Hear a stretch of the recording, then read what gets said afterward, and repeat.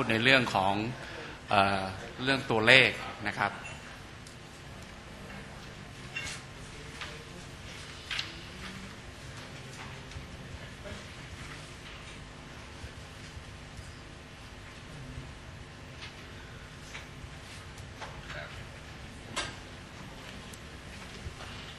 สำหรับบริษัท AAT นะครับตัวเลขผลการประกอบการของไตรมาสที่ 3 รายได้ของเรานี่ ผ่าน audit แล้วนี่เป็นตัวเลขที่ 935 ล้านนะครับซึ่งถ้าเรามองที่ไตรมาสเดียวกันของปีที่แล้ว ซึ่งเราทำไว้ที่ประมาณเกือบ1,300ล้าน แต่คงไม่สามารถที่จะเอามาเป็น benchmark ได้ เนื่องจากว่าธุรกิจของเราเนี่ยเป็นธุรกิจที่เอ่อเป็นอะไรที่ไม่ใช่เป็น seasonal นะครับมันเป็นตัวเลขที่ขึ้นอยู่กับโปรเจกต์แล้วก็ความสามารถในการปิดงานได้ นะครับ ซึ่งบางปีเนี่ยไตรมาสที่หนึ่งอาจจะเยอะไตรมาสที่สองอาจจะน้อยหรืออะไรก็แล้วแต่นะครับแต่ยังไงก็แล้วแต่ตัวเลขของเรานี่ก็ถือว่าไม่ไม่ได้เกินความคาดหมายหรือว่าต่ำกว่าความคาดหมายของบริษัทนะครับก็ที่ 935 ล้าน ซึ่งถ้าดูตัวเลขรวมทั้งปีตั้งแต่ต้นปีมาก็คือ 9 เดือนเนี่ยบริษัทเราก็ ทำไปทั้งหมด 2,700 กว่าล้านคือ 2,762 ล้านนะครับ ทีนี้ถ้าดูในแง่ของแหล่งรายได้ ซึ่งแบ่งเป็น2ประเภท ประเภทแรกก็คือตามฐานลูกค้านะครับ ก็จะเห็นได้ว่าสำหรับไตรมาสนี้เนี่ยไตรมาสที่3นะครับ รายได้ส่วนใหญ่ก็จะมาจาก CAT TOT แล้วก็ทางด้านภาคการศึกษานะครับ ซึ่ง CAT contribute อยู่ประมาณ 42%ทีนี้ถ้ามองในลักษณะของแหล่งรายได้ บริษัทเราก็ยังมีแหล่งรายได้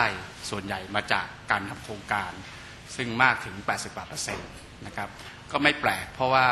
เราเป็นธุรกิจที่เป็น System Integrator มันก็ต้องเป็นลักษณะของการทำโครงการอยู่แล้วนะครับ เพราะฉะนั้นตัวเลขตัวนี้ก็ก็ถือว่าปกตินะครับในขณะเดียวกันตัวเลขทางด้าน Service ก็ 11 12%ซึ่งก็ถือว่าเป็นตัวเลขที่ใช้ได้นะครับเเราก็มีความพยายามที่จะ drive ตัวเลขทางด้าน Service ให้มากกว่านี้นะครับแต่ทีนี้มันก็ต้องออใช้เวลานะครับซึ่งจะเห็นได้ดังในในใน VTR เนี่ยเราก็มีจัดตั้งพวก training center มีอะไรต่างๆ แล้วก็มีสร้างหน่วยงานทางด้าน service สำหรับที่จะโฟกัสทางด้าน ธุรกิจในการขาย service นะครับ ซึ่งตัวเลขมันก็ improve ขึ้นมาทุกๆ quarter นะครับ แล้วก็ตัวเลขทางด้านการให้เช่าก็ประมาณ 2%ซึ่งก็ถือว่าเป็นเป็นอะไรที่ไม่ significant ทีนี้ถ้าเรามองตัวเลข 9 เดือนนะครับเมื่อกี้เราพูดถึงเฉพาะไตรมาสที่3เนี่ยถ้าเก้าเดือนก็ ถ้ามองโดยรวมๆแล้วก็ไม่ค่อยเปลี่ยนแปลงจากตัวเลขของไตรมาสที่3สักเท่าไหร่เพราะว่ามันก็เนื่องจากฐานฐานลูกค้าของเราก็คือ CAT กับ TOT เป็นหลักนะครับแล้วก็มีภาคราชการภาครัฐนะครับก็จำนวนโปรเจกต์รายได้ที่มาจากการทำโปรเจกต์ก็อยู่ประมาณ 85%ก็ถือว่าเหมือนกับไม่มีไม่มีนัยยะถ้าเอา Q3 มาจับนะครับก็ก็ก็ก็ in line มองในแง่ของ gross profit นะครับไตรมาสนี้เรามี gross profit เป็นตัวเลขอยู่ 214 ล้าน ถ้าในมองของเชิงของเปอร์เซ็นต์เรามี gross margin อยู่ที่ประมาณ 23%ก็ซึ่งอินไลน์กับเอ่อที่ผ่านมานะครับ ก็กำลังจะบอกว่าความสามารถในการ maintain gross profit เราเราถือว่าดี ถ้าเรามองในแง่ของตัวเลขรวมทั้งปีคือ 9 เดือนนะครับ gross profit เราอยู่ที่ 22.8%นะครับก็เมื่อกี้ Q3 เราอยู่มา 23 ก็ก็ก็อินไลน์กัน แล้วตัวเลขเป็นตัวเลขรวมก็ 622 ล้าน ทีนี้เรากลับมามองในแง่ของกำไรสุทธิบ้างนะครับกำไรสุทธิสำหรับไตรมาสที่ผ่านมาคือไตรมาสที่3เนี่ยถ้าเป็นเน็ตเงินก็ประมาณ 88 หรือ 89 ล้าน ซึ่งถ้าเรามองในแง่ของเปอร์เซ็นต์แล้วเนี่ยเน็ตมาจินเราอยู่ที่ 9.5%ก็ถือว่าเป็นอะไรที่เราสามารถที่จะรักษากำไรสุทธิเมนเทนในตรงตัวมาจินเปอร์เซ็นต์ได้ดีนะครับ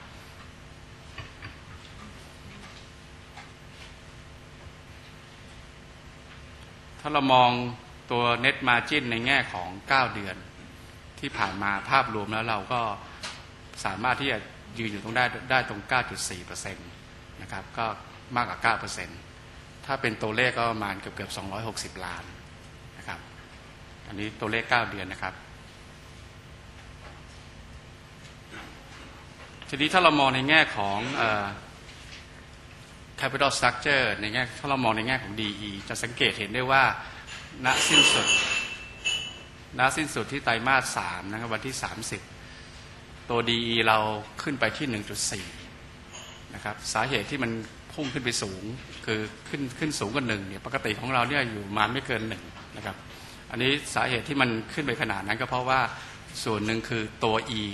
มันลดลงเนื่องจากเราปันผล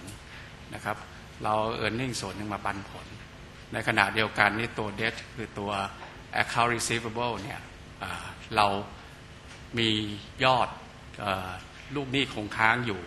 มันก็เลยดึงให้ถ้ามองในในแง่ของสัดส่วนมันก็ดูดูสูงขึ้น แต่ถามว่ามันเป็นเรื่องผิดปกติไหมก็ก็ไม่ใช่ เพราะว่าเนื่องจากมันเป็นโครงการ พอเราปิดโครงการเราส่งมอบโครงการหนี่ส่วนลูกหนี้การค้าก็จะถูกเก็บเงินเข้ามา ตัวตัวเลขก็จะลดลง เพราะฉะนั้นในตัว DE นี้ถ้ามองณจุดใดจุดหนึ่งเนี่ยมันมาตัดสินอะไรไม่ได้นะครับ โดยปกติแล้วตัวเลข DE ถ้าถ้าเรามองของบริษัทเราเฉลี่ยทั้งเฉลี่ยที่ผ่านมาเนี่ยก็ไม่ไม่เกินหนึ่งนะครับ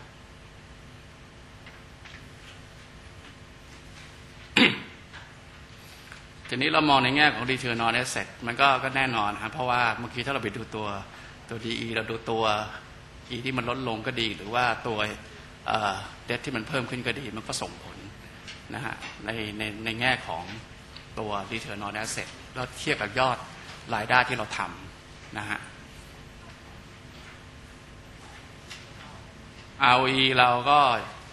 drop ลงมาที่ 25.2%นะครับ ซึ่งถ้า Q4 ตัวเลขทำได้ตามที่คาดหวัง ROE ก็น่าจะดีขึ้น ไม่ใช่น่าจะมันต้องดีขึ้นนี่ P/E ratio นะครับ P ratio ของเราณวันที่ 9 ของเราอยู่ที่ 9.4 นะครับ ซึ่งก็ดีขึ้นมาหน่อยหนึ่ง แต่ถ้าเทียบกับค่าเฉลี่ยของ sector นี้ซึ่งอยู่ที่ประมาณ 20 ของเราถือว่าครึ่งเดียวเองนะครับ ครึ่งเดียวของราคาค่าเฉลี่ย P P ค่าเฉลี่ยของ sector sector นี้นะครับ ก็คิดเอาว่ามันน่าจะมีupside อยู่เยอะนะครับ PB PB ของ sector นี้ค่าเฉลี่ยมันอยู่ที่ 4.4 นะครับ ส่วนของเรานะวันที่9เอ่อก็ไม่กี่วันที่ผ่านมาเนี่ยของเราอยู่ที่ 3.1 ก็ ถือว่าต่ำกว่าค่าเฉลี่ยของ sector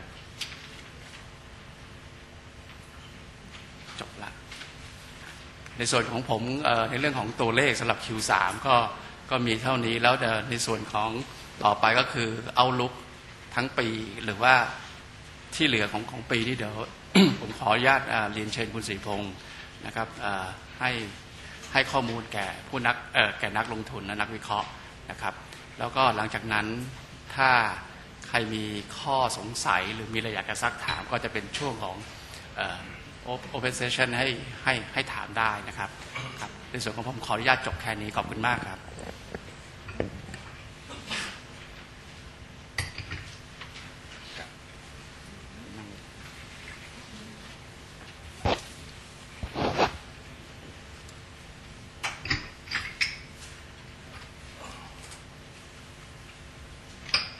ครับ สวัสดีครั้งครับท่านนักลงทุน ท่านนักวิเคราะห์ แล้วก็สื่อแล้วก็ท่านผู้มีเกียรติที่เคารพทุกท่าน ครับในส่วนของผมก็คงจะมามองว่าที่